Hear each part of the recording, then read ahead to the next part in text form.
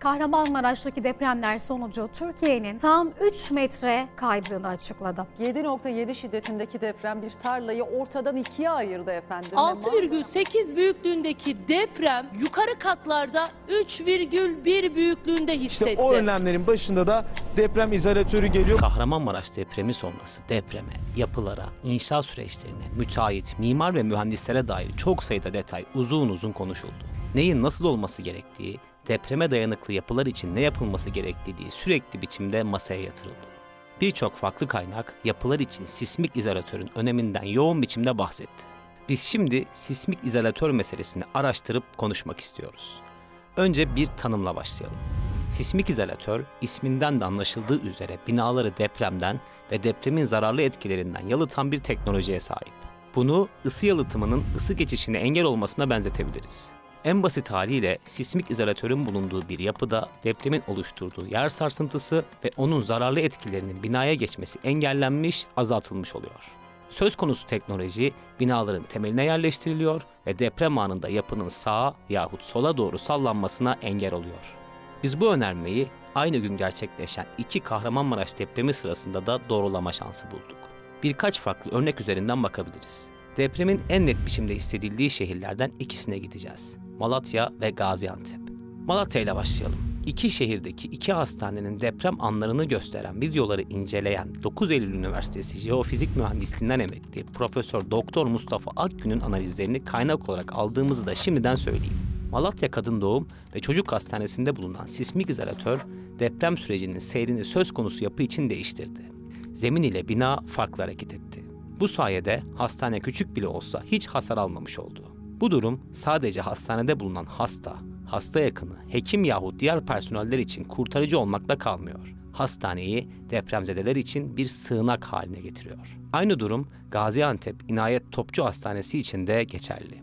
Akgün'e göre görüntüler izolatörler sayesinde binanın beklenenden daha az bir sarsıntı yaşadığını ortaya koyuyor.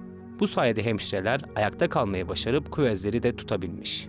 Profesör Akgün sistemi tarif ederken araba amortisörü örneği veriyor. Hatta direkt onun ağzından dinleyelim. Binayı zemine sabitlediğimiz zaman otomatikman bina ve zemin ortak hareket ediyor ve bina zeminden aldığı enerjiyi atıncaya kadar sallanmayı sürdürüyor. Bu sallanma sırasında bina esnekliğini kaybederse yıkılıyor. İzolatör dediğimiz sistem araba amortisörlerinde kullanılan bir sisteme benziyor. Yaylı bir sistemle bina zeminden ayrılıyor.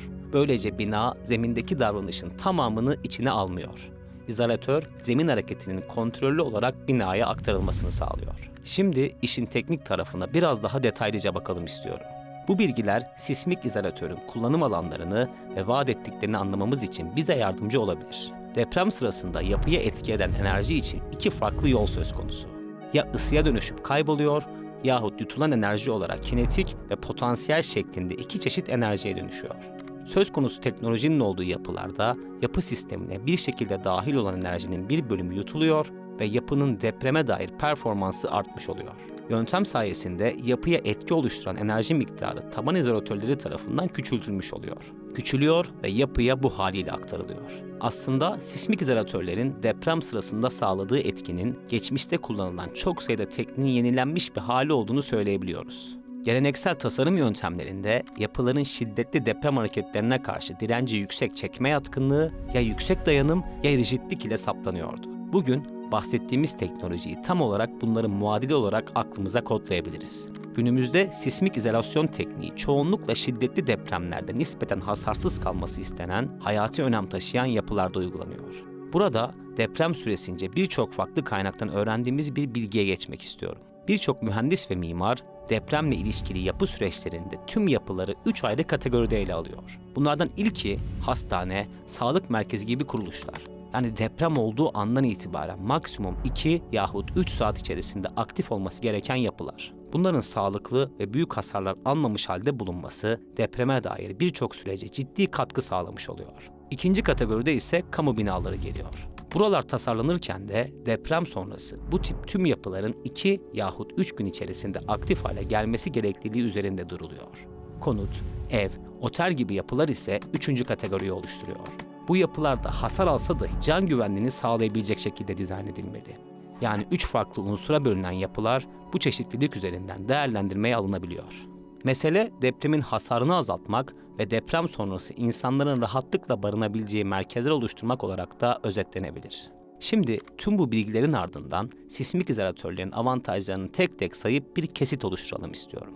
Öncelikle şimdiye kadar kullanım örnekleri üzerinden incelenen denek yapılarda bulunan binalar ve bulunmayan binalar arasında ciddi bir can güvenliği artışının söz konusu olduğunu söyleyebiliyoruz. Taşıyıcı yapılarda hasarlar en aza indiriliyor. Bina içerisindeki ekipmanlar korunmuş oluyor. Hatta bu maddeye bir parantez açalım. Hastanelerdeki cihazların yeniden yapılması mümkün olmayan tarihi eser ve yapıların korunması konusunda bu maddenin önemi tartışılmaz bir seviyede karşımıza çıkıyor. Avantajlardan bir diğeri ise deprem sonrası hemen kullanım ile iş kaybının ve ekonomik süreçlerin etkilenmemesi, ulaşım yapıları olan köprü, viyadük gibi yapıların sürekliliği olarak sıralanabilir. Sismik izolatörlerin avantajlarının yanı sıra sınırlı da olsa çeşitli dezavantajlara sahip olabildiğini de söylemeliyiz. Örnek vermek gerekirse yapının tasarlanan depremden büyük bir depreme maruz kalması durumunda izolatörlerde de yaşanabilecek bir kopma kalıcı hasarlar meydana getirebiliyor. Ayrıca sismik izolatörlerin maliyetinin yüksek olmasıyla birlikte yapıda uygulanması gereken ekstra bodrum maliyeti ve temel kazılarının daha derin olması, temelin etrafının yapının deplasman yapabilmesi için istinat duvarlarıyla çevrilmesi, izolatörlü yapıda kullanılması gereken kanalizasyon, su, elektrik, doğalgaz gibi sistemlerin farklı şekilde yapılması izolasyonlu yapıların maliyet kalemlerini artırıyor. İzolasyon sistemleri yapıların periyotlarını uzatması dolayısıyla yumuşak zeminler üzerine inşa edilmiş yapılar için zararlı diyebiliriz. Yumuşak zeminlerde deprem izolatörleri konularak yapı periyodunun artırılması durumunda yapıya gelecek deprem yükü artacaktır. Ayrıca bitişik nizam yapılarda sismik izolasyon uygulaması uygun olarak değerlendirilmiyor.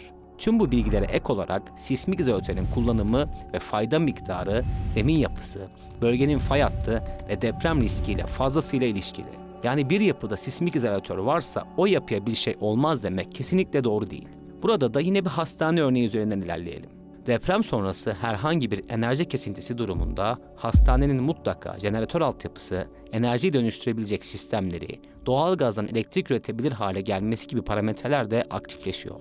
Hastane dendiğinde devasa bir kompleksten bahsetmiş oluyoruz. İlk etapta yalnızca ameliyathane, yoğun bakım ve medikal alanlar akla gelse de teknik bölümlerin fazlalığı ve önemi de kesinlikle dikkate değer. Yani bunların da yönetmeliklere uygun biçimde yapılması zorunlu desek yanılmış olmayız. Sismik izolatörün temel mantığının alt tarafın hareketiyle üst tarafı sabit tutmak olduğunu düşündüğümüzde bu anlattıklarım daha da fazla önem kazanmış oluyor. Kullanılan cihazlar, sistemler, bağlantılar, akla gelecek tüm teknik donanım sismik izolatörün yapısındaki gibi sismik donanımda olmalı. Yapının iç donanımları, mobilyalar, tabanlar, tüm alet edevat bir şekilde sabitlenmiş durumda olmalı. Her şey güvenli ve işlevi bozmayacak şekilde planlanmalı. Özetle sismik izolatörün depreme dayanıklılık konusunda faydalı olduğunu söylesek de statik analiz, zemin etütleri ve denetimler olmadan süreçlerin ilerlemesi söz konusu dahi olamaz. Yapılardaki tüm aşamaların farklı uzmanlarca teyit edilerek ilerletilmesi de anahtar bir rolde diyebiliriz. GZT olarak hem sahada hem de haber merkezinde size gelişmeleri an be an aktarmaya devam edeceğiz. Doğru ve teyitlenmiş bilgilerin şu dönemde ne kadar önemli olduğunu biliyoruz. Bu nedenle size doğru bilgiyi doğru zamanda aktarmaya devam edeceğiz.